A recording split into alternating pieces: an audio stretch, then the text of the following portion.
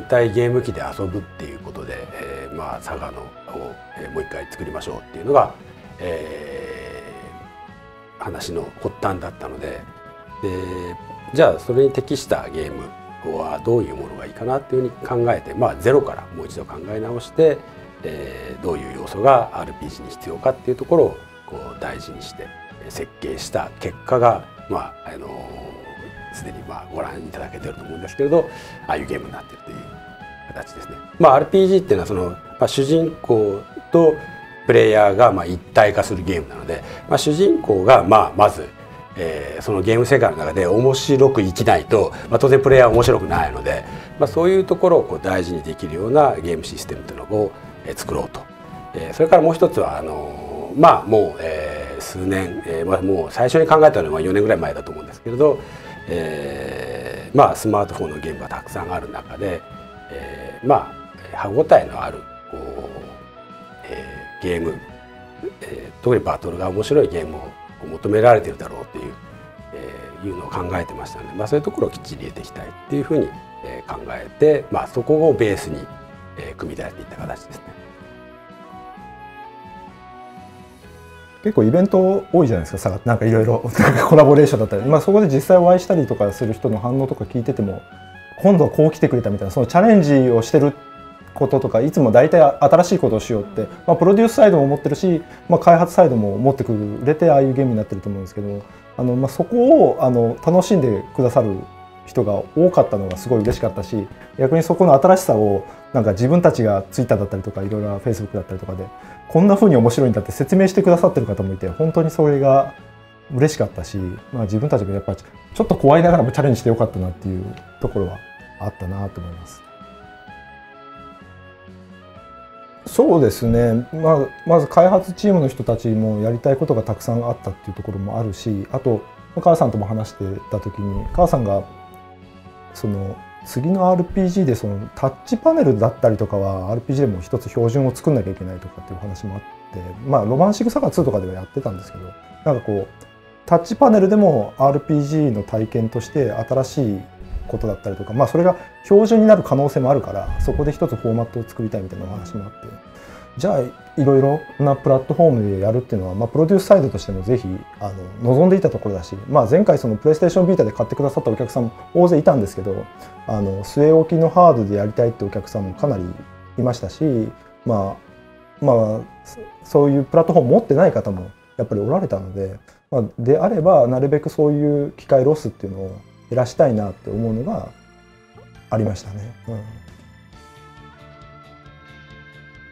一通りあのー、なんだろういろんな要素がアップグレードされてはいるんですけども、うん、あのメインストーリーの大筋みたいなところは一応そのもともとあったところはちゃんと,、えーと、残っているというか、うん、そのそこが変わってるとかっていうわけではないです。ただあの細かいそのところであのイベントが大量に追加されていたりだとか新しいキャラクターが出てきたりだとかボイスが入っているとかあのバトルでいうとそのまあ、裏ボスに当たるようなやつがいたりだとか、うん、あの追加要素は結構いろいろ入ってはいますね。で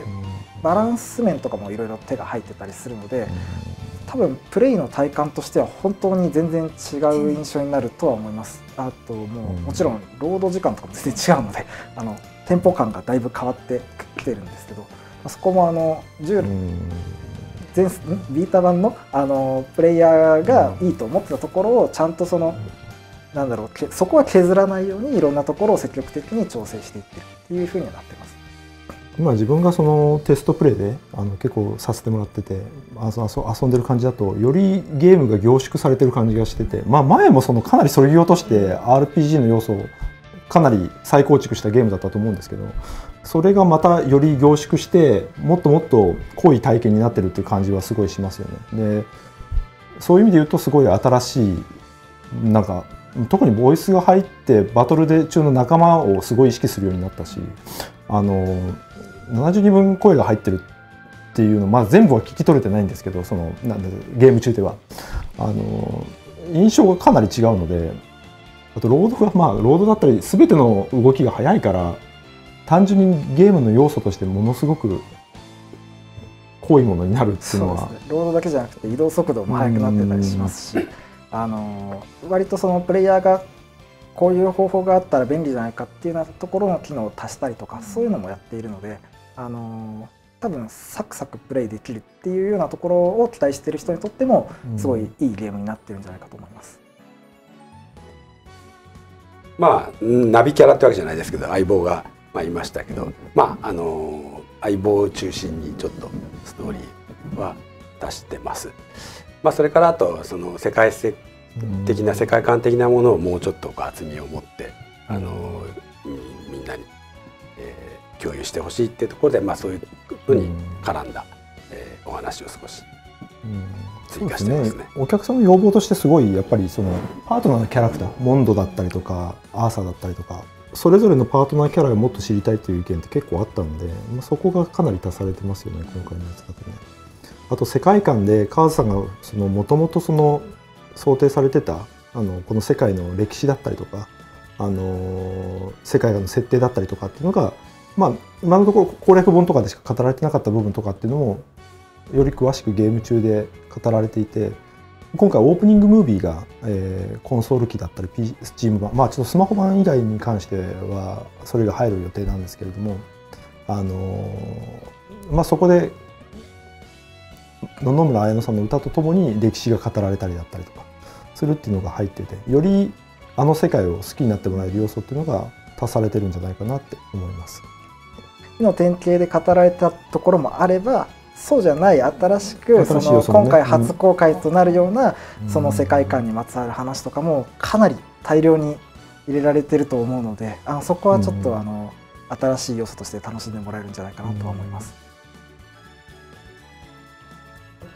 従来の作品であのまあ、有名な技があってでそれが好きででもビータ版では出てなかったっていうような声に対してはそこそこ答えられるような有名な技を盛り込んだりはしています。あとサガシリーズのそうですねサガシリーズの有名な技とかは、まあそこそこ入ってたり、あとはそうですね術の数が少なかったっていうのは、まあ自分もその思ってたところであったのでそこをちょっと補強したりとかそういうふうにいろいろそのなんなんて言ったらいいんですかねトータルの完成度を高めるような形での追加っていうのを行ってたりします。それあとまあ新曲がね追加されてたりとかするので、まあ、その辺も伊藤健二さんのファンにはかなり見どころなんじゃないかなとは思いますね。前回の「探すか」でも相当激しいバトル曲だったと思うんですけど今回さらにパワーアップしてバトル曲を書くみたいな 大丈夫かなみたいなこんな曲も書くんだみたいな感じでちょっと驚きましたけどその辺かなり伊藤健二伊藤健二さんのファンにはたまらないんじゃないかなと思いますね。